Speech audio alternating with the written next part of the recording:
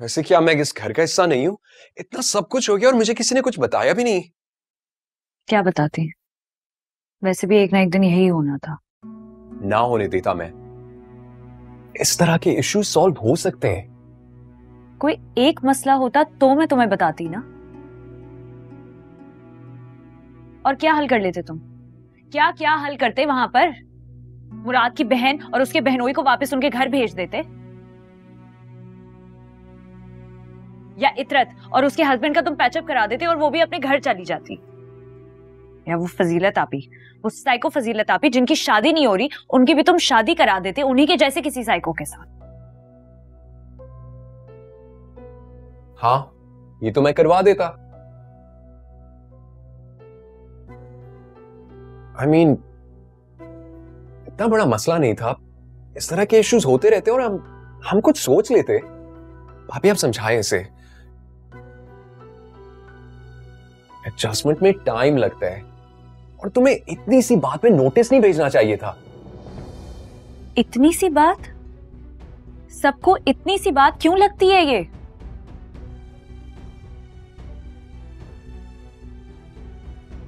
थक गई हूँ मैं बर्दाश्त करते करते। और जितनी कोशिश मैंने करनी थी ना उन लोगों को खुश रखने की मैं कर चुकी हूँ। लेकिन उन्हीं लोगों को खुश नहीं रहना आता। मन्नत। बस भाभी मैंने नहीं करनी मजीद इस पे बात।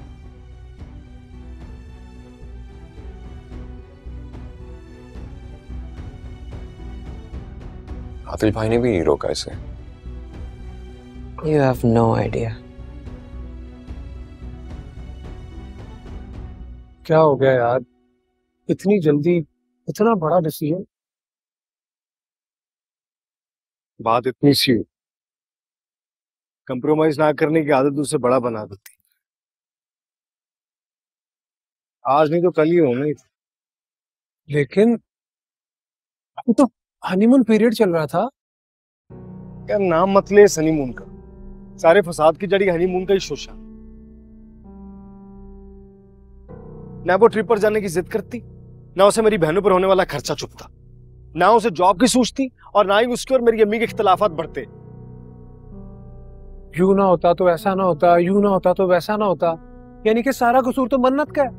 उसकी वजह से ये नौबत यहाँ तक आई है। अपनी शक्ल देख नहुसत टपक रही है। आधे से ज़्यादा कसूर तो तेरा है। आंटी के सामने तुम लोगों की लव मैरिज की हकीकत क्या खुल गई? तूने मन्नत को खुद को मुजरिम समझना शुरू कर दिया। और सारी सजा तुम मन्नत को दिलवाने पे तुल गया ताकि तू अपनी अम्मा की नज़रों में सुरखरू हो सके। यार, तूने जो मुझे कहना ना कह ले जो इल्ज़ाम देना दे ले। लेकिन खुला का नोटिस तो मन्नत की तरफ़ से ही आया ना। मेरी अम्मी ने तो सब कुछ होने के बावजूद भी उसे दोबारा तस्लीम कर लिया था। माफ़ी ना मांगना ना महज एक बहाना था। मुझसे अलहदगी चाहती थी ताकि ताकि उस हमाद के साथ वो आइडियल ज़िंदगी गुजार सके।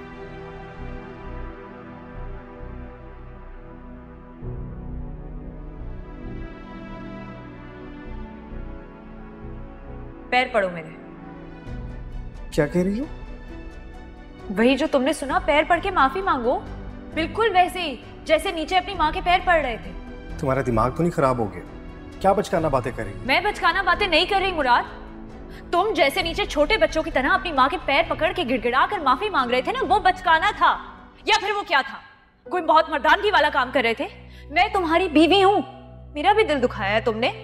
मेरे भी पैर पकड़ के माफ़ी मांगो ना या उसमें तुम्हें शर्म आती है कोई तुम्हारी मर्दानगी को ठेस पहुँची है? नीचे रख के बात कर।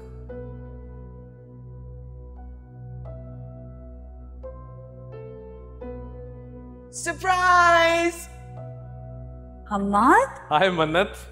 क्या हाल है? बिल्कुल ठीक तुम कैसी हो? मैं ठीक हूँ तुम कब आए? बस आज ही। इसीलिए मैंने सोचा परफेक्ट अपॉर्चुनिटी है गुड फ़ूड एंड गॉसिप वैसे भी काफ़ी अरसा हो गया हम आपके लेम जोक सुने हुए। मेरी फैमिली सिर्फ़ ये चाहती है कि हम किसी भी न्यूली वेड की तरह कहीं बाहर जाएँ घूमने। के लिए क्योंकि तुम्हारे पास हमारे हनीमून के पैसे जो नहीं बचे। तो ये बात तुमने उनको बताई होगी कि मेरे पास हनीमून के लिए पैसे नहीं तो? मैंने झूठ तो नहीं बोला ना? तो इसका मतलब ये नहीं है कि मैं तुम्हारे घर वालों से भीख मांगकर तुम्हें हनीमून पर ले जाऊँ। पहले तुम्हारे बड़े भाई के मुझे केपेबल नहीं समझते।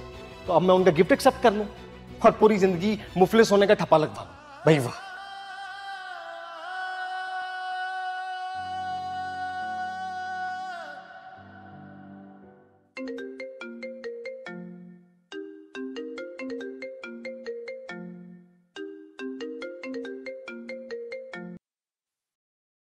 हेलो। हाँ मन्नत। कैसी हो? आई एम वेल तुम कैसे हो? गुड अच्छा ये बताओ कल क्या कर रही हो? आई मीन कोई मसरूफियत तो नहीं है? नहीं नॉट नॉट रियली ग्रेट मेरे साथ कल एक साइट विज़िट पे चलोगी? मैंने ऑफ़िस के लिए एक जगह सेलेक्ट की है तुम्हारा मशवरा चाह रहा था मैं। हम जा सकते हैं। Great I'll pick you up. Okay see you Okay. Thanks. See you. Bye.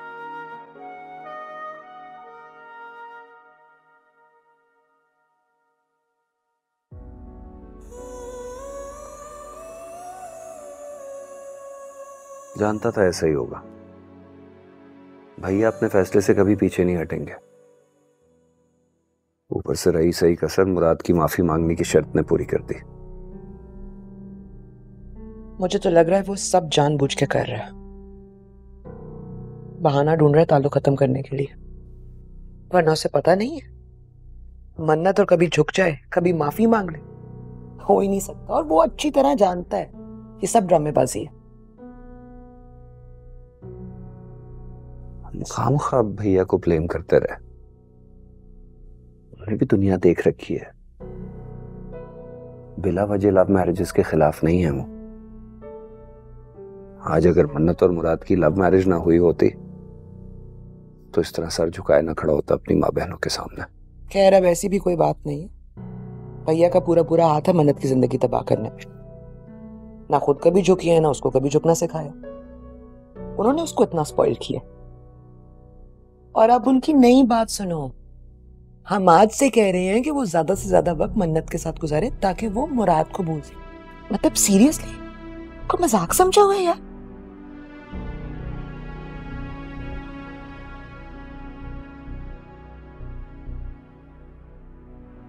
तो इसमें ऐसी कोई गलत बात तो नहीं है।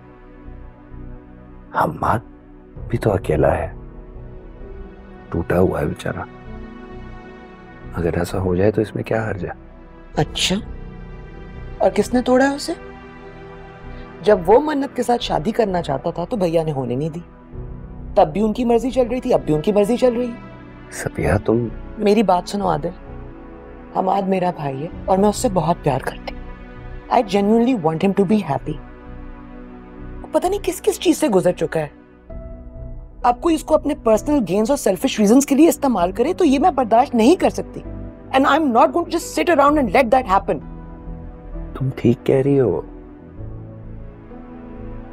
मगर थोड़ा सा ओवर रिएक्ट कर रही हो। मेरा ये ख्याल है कि तुम एक बार हमाद से पूछ लो। क्या मालूम उसकी खुशी भी इसी में हो?